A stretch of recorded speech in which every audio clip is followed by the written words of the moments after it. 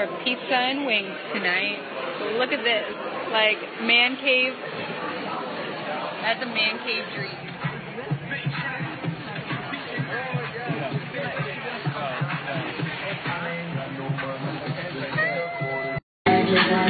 I'm